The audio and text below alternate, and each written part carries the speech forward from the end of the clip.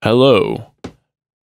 Real quick, sorry for the lack of videos. I have was in the process of moving and I have now moved into a much more friendlier recording room where I don't have to worry about neighbors who can hear me and the walls are much thicker.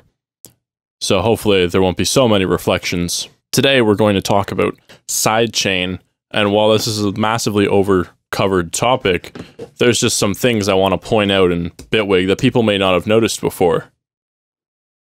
Okay, so here we lie, ready to test out this thing. So essentially, I'm going to be making an auto trigger for my drums, which sound like this. And so nothing special, so just really simple. Uh, the way this has to work um, is you have to basically have a drum machine channel, and you you keep all the percussion that you would ever want to be sidechained in the mix on this in this channel, and then you do any other percussion that you don't want to be sidechained in a different drum channel, and then like I guess if you want maybe a third one for the stuff you want sidechained, like uh, for example, I'm sidechaining this. That's getting like sidechained.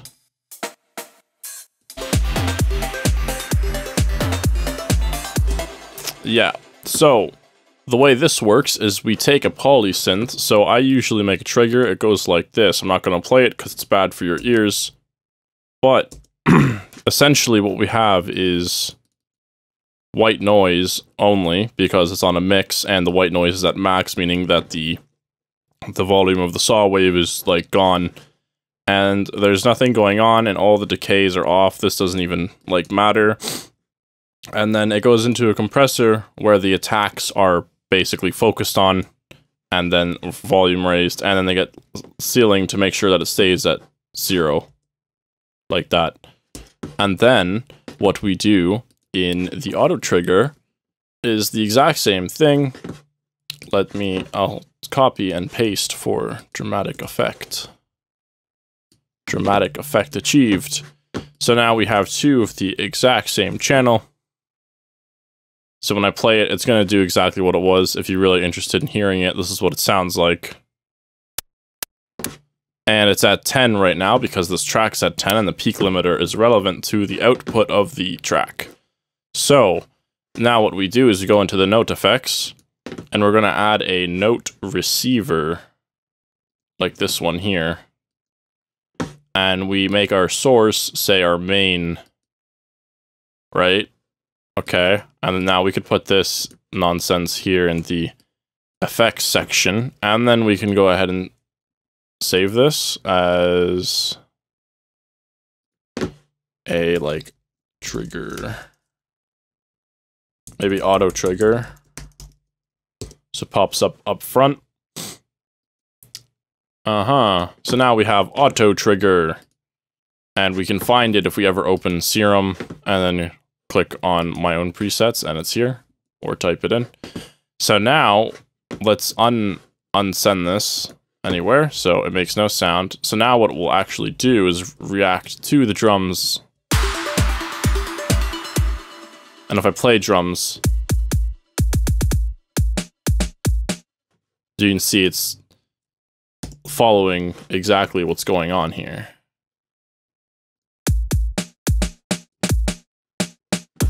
So it's getting its MIDI input from this note effects, as you can see here. What's cool though is we can still use this um, standalone if we turn this off. So if there's ever a point where we want to use the standalone, we could just turn off the note receiver and do it like that, or uh, not mute input, and it would still work actually. So, and then you can mute source, which means that the kick won't do anything now. So that's what that does. So whatever you want, essentially. So now we have an auto trigger. So if we put this up to zero, it's going to do exactly what, what this one was doing because they're the exact same. The only difference is this one's being triggered by this. So that's like done and then you never have to do anything. So like I'll just delete that and now I have a trigger. Use it as a track separator maybe if I want. Get some space between me and the drums. And nothing's being sidechained now, so we can go through and select it here as our as our thing. everywhere. And then we'll see that works.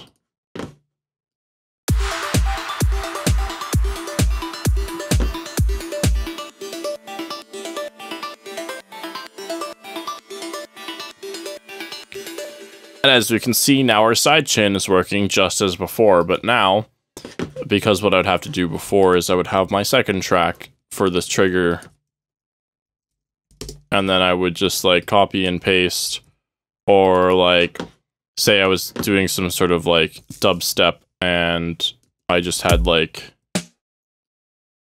this pattern going on or something like, then I would go like that, and then hold Alt and then drag it on like that. And while that works fine, if you want to like get into detail or something and like add kicks everywhere and stuff, then it gets a little annoying if things get layered on top of each other, or maybe you have hi-hats and stuff in here and you have to grab just these two tracks and it's a pain.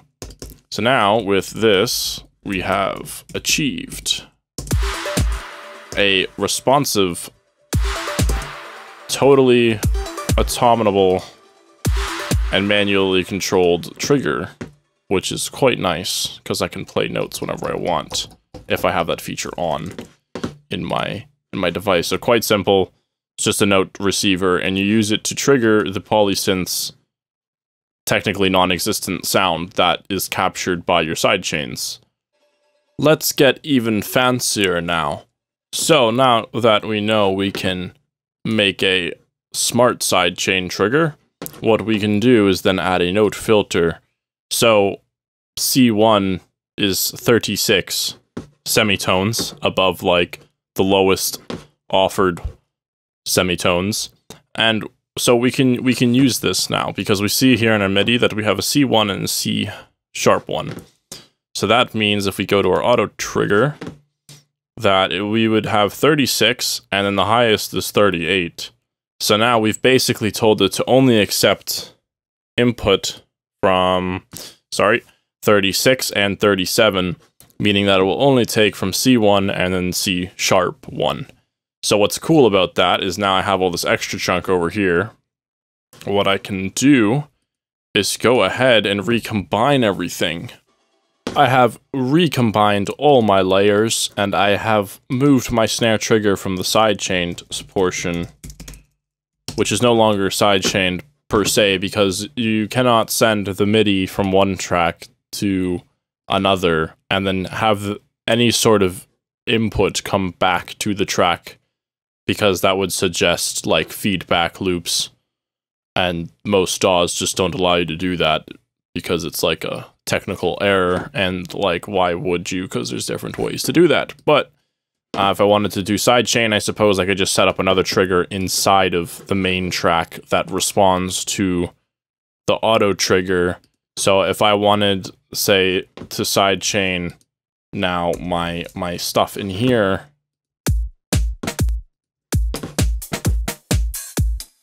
say I want to sidechain that, now I will use tool. Mm-hmm. Drop it down it's it's quite enough to the point where sidechain is a thing. And then now what we do is we go into our modulators and get the audio sidechain, open it, and now we're going to use this to sidechain our our stuff because we can take the let's see here, the instrument layer chains and take the drum machine post audio like this. So now the the site now this stuff will basically dodge anything that's in the regular. These three things will get dodged by by this. The thing being though this tool needs to be inside the sidechain layer like that. Now we will go ahead and modulate say the amplitude by it.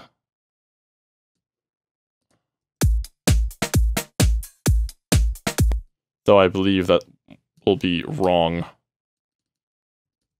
So at zero, and then we would go down. So when the audio reaches, the higher the audio that it receives gets, the more we want this to be done.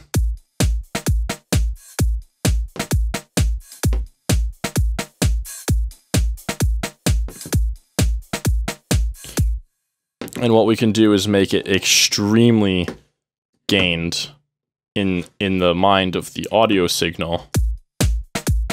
So it comes like hard in, and then we can change the like amount and release times.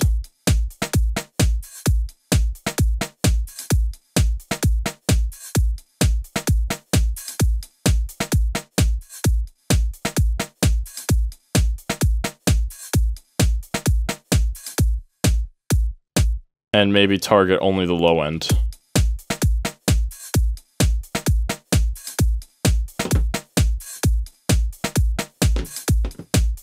So now we've kind of got our sidechain effect in here, though it's on a lower quality, uh, which is kind of what happens when you use audio sidechain. Audio sidechain is very good for making reverbs duck out of the way of leads and such. Not so much like having a bunch, multiple things duck out of the way, but I'm treating these these things as sort of like not so serious, so it's not a huge deal. Um, let's go ahead and okay, maybe do a little less. And then now if we listen,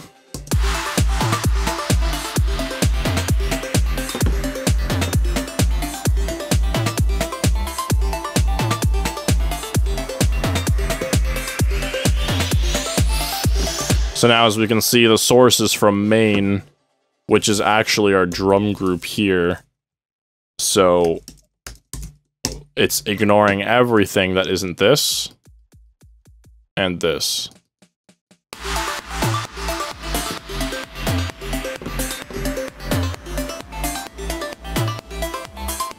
Which got a low volume for some reason. So anything that does not those two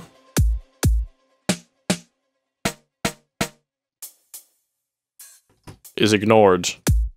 And I can change these parameters at any time, add one. Now this is affected. When I play it, that will get affected.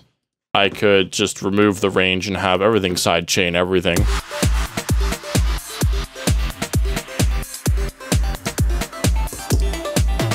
But obviously you don't want to do that or else you wouldn't put the note receiver or the note filter to filter out what the receiver picks up. So now you've made the smartest sidechain that only picks up kicks and snares, and if you don't want it to be picked up, then essentially you can just mute the trigger track with automation, and then now you never have to, like, put down, waste your time putting down tracks. I'm going to go ahead and save this as smart auto trigger, or auto trigger smart. And that's what I have. So I showed you a little bit uh, insight of how to sidechain with the audio sidechain, basically using tool, or you could use filters, for example, like use like low pass filters or something to take away reverb when something else plays, or you can do that sort of thing, or have it so you can put this on chords or anything, and when the audio stops playing, uh, it closes like any filter or changes another thing, like maybe makes the reverb louder when you stop playing to sort of simulate compression, like o- OTT or something. Uh, you can make like vocodexes and stuff with this as well, vocoders, I mean. And yeah, so we made uh, auto sidechain, the basics, or an auto trigger, and then we made a smart trigger. So now your percussion stuff should be so simple. The thing you have to make sure is that the percussion things that are going to be per- sidechained need to be all side by side. You, like if I were to put the snare up at C sharp 2, uh, I can no longer actually filter that out. I might be able to run and I believe in that sort of case you would then have to run the note splitter through a instrument layer. No, through a uh, FX layer that I can't. Maybe an instrument layer, and then I think you could target specific. Let's try this because we have we have two now.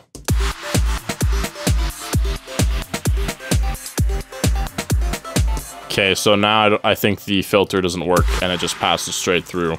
So yes, uh, as it is... Come on. Well, as it is right now, you have to have the percussion layered side by side in the same receiving end.